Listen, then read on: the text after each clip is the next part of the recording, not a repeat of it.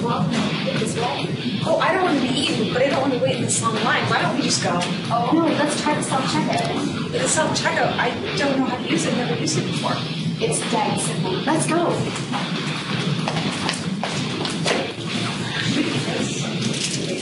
What do I do first? Do you have your student card? Yes. Okay, just put the barcode under the scanner. Under the laser? Yes, the light wave amplification by stimulation of emission of radiation. That's what reads your card. It makes a noise when it goes through.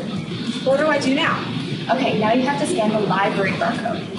No, no, that's the publisher barcode. The library barcode is on the front cover or the inside front cover of the book. Yep, it makes a noise when it reads it. Now what do we have to do? Okay, now you just have to make sure to, to desensitize the book or the will beep and attract the zombies. How do I do that? Just make sure to place the spine of the book in the V or else you can attract E for sure. There you go. The screen goes green and it makes a noise when it goes through. And it'll show up on your checked in items. So now we're good to go? Don't forget to print your receipt. It shows your due date. There you go. I'm glad we used the self checkout and didn't have to wait in that line. We would have been eating for sure. I know self checkout is awesome. It saves time and lives. Let's go. There's no music here.